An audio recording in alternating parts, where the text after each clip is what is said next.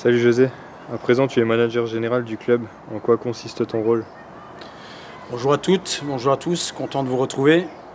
Alors en quoi consiste le rôle bah, Je suis tout simplement, euh, j'ai la responsabilité sur l'ensemble du sportif du club. hein. donc euh, ça englobe euh, naturellement l'équipe première, mais également toute la partie senior, toute la partie jeune et féminine. Donc aujourd'hui, mon rôle, ça va être d'avoir un, œil avisé sur, sur tout ce qui se fait, être au courant naturellement de tout ce qui se fait au niveau, au niveau sportif, mais aussi participer à toutes les réflexions et à toutes les décisions, euh, ce qui me semble important.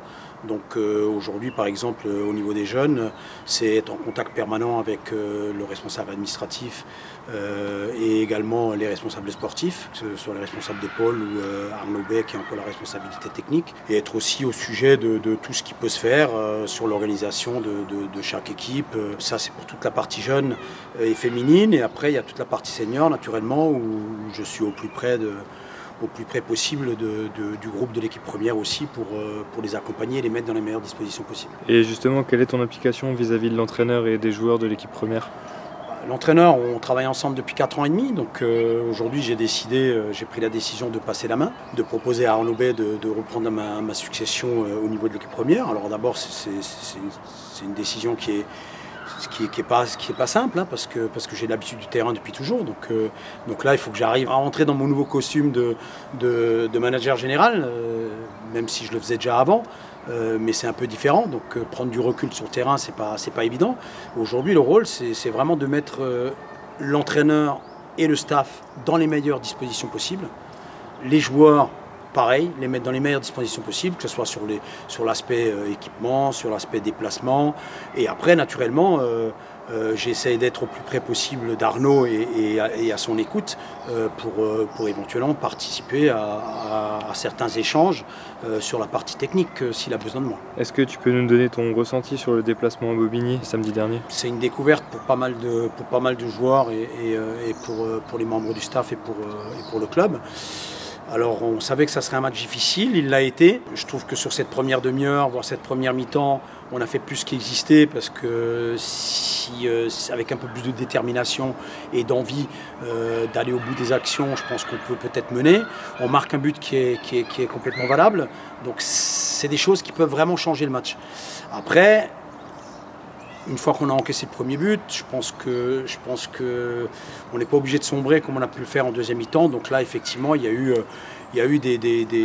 des choses qui ont été, euh, qui ont été euh, évoquées sur ces sujets-là, où on a manqué, je pense, euh, d'expérience. Euh, on a sombré trop vite à mon goût, parce qu'en prendre 5, ça peut pas être un accident toujours. Maintenant, vaut mieux en prendre 5 en une fois euh, en termes d'apprentissage que 5 fois un 0. Mais je sais aussi que ce groupe-là a toute la capacité pour pouvoir réagir dès ce week-end. Et, je sais que je peux, compter sur eux et compter sur le staff pour faire le nécessaire, pour, remettre un peu les pendules à l'heure, parce qu'on a pris une vraie claque. On a pris une vraie claque euh, et surtout on a pris, euh, on a pris des buts qu'on ne peut pas prendre à ce niveau-là. Je pense qu'il faut beaucoup plus de- d'exigence et être beaucoup plus euh, comment dire, agressif dans les duels pour en gagner beaucoup plus que ce qu'on a pu faire sur ce match-là. Certaines personnes se sont demandé pourquoi vous avez joué en rouge ce week-end. Quelle est la raison? C'est très simple. c'est que tout d'abord, notre adversaire a joué tout en blanc et qu'on n'avait pas la possibilité de pouvoir mettre notre short blanc. Donc aujourd'hui, soit on jouait avec un maillot rouge, un short vert et des chaussettes vertes. Voilà, c'est les couleurs du Portugal, donc ça ne me gêne pas. Mais, mais en tout cas, donc on a une tenue extérieure euh, et de remplacement qui est la tenue rouge. Et donc euh, c'est la deuxième couleur du club. Donc effectivement, chaque fois qu'on a une problématique d'équipement, on joue avec la couleur euh, rouge. C'est uniquement pour ça. Tous les supporters vont trouver l'équipe de Colmar en vert, parce que c'est nos couleurs, c'est leur couleur.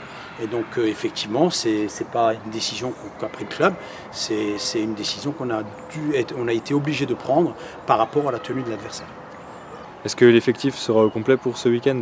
Ah, Il sera au complet, non, je pense pas, parce qu'on a effectivement quelques, quelques petits soucis. On a notamment euh, le problème euh, sur notre couloir droit avec euh, Guillaume Jacquat, euh, mais qui a repris l'entraînement. Donc on espère que peut-être que cette semaine, euh, il fasse une semaine complète. Euh, on a aussi euh, notre nouvelle recrue de Bill Dago qui, euh, qui est touché. Donc pour l'instant, il ne sera pas opérationnel, ça c'est euh, certain. Et, euh, et naturellement, on a l'absence d'Iboufaï. hein, qui malheureusement sera absent pendant, quelques mois. Et, c'est vrai que son absence est préjudiciable parce que c'est un joueur sur lequel on comptait vraiment. Offensivement. Donc on, va, on va faire le point encore dans, les, dans les semaines qui viennent pour voir un peu comment on peut régler et compenser cette absence. Mais, en tout cas, il est, il est évident que le profil de joueur euh, d'Ibou, Aujourd'hui, on ne l'a pas dans l'effectif, donc euh, il faudra peut-être euh, aller le chercher ailleurs. Il va falloir trouver aussi des moyens pour pouvoir peut-être renforcer cette équipe, mais, mais on va déjà tout faire pour que cet effectif-là puisse faire le nécessaire pour réagir déjà contre Saint-Maur, parce que je pense qu'on a toutes les qualités pour pouvoir le faire. Donc, et après, on échangera avec les présidents pour voir qu'est-ce qu'il est possible de faire ou pas. Est-ce que tu as un mot à faire passer à nos supporters?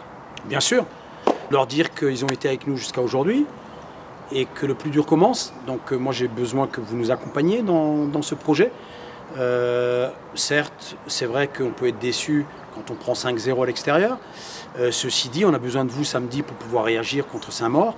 Et, aujourd'hui, vous nous avez accompagnés jusqu'à présent, donc on compte sur vous. Venez nombreux, soyez indulgents, parce qu'on est en apprentissage. Voilà. Je vous retrouve samedi sur cette pelouse du, du stadium en tenue vert, je vous le promets. Allez, à samedi.